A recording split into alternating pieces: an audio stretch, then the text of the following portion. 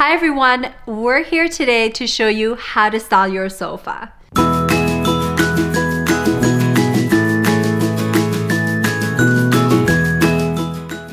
I know it can get daunting going to stores and seeing all these different fabrics of throw pillows with different textures and sizes and shapes and what do you do with them? So we're gonna walk you through the different steps of how to do it the right way.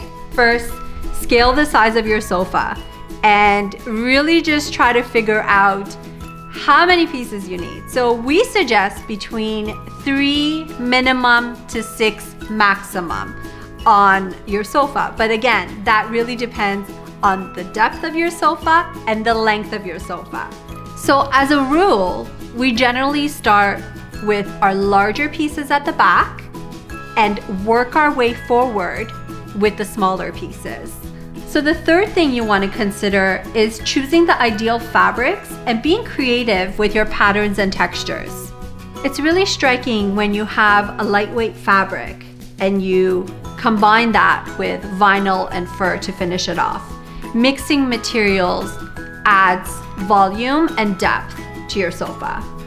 As a last tip, if you like your neutral palette, go ahead and mix up your whites tans, and golds as an accent.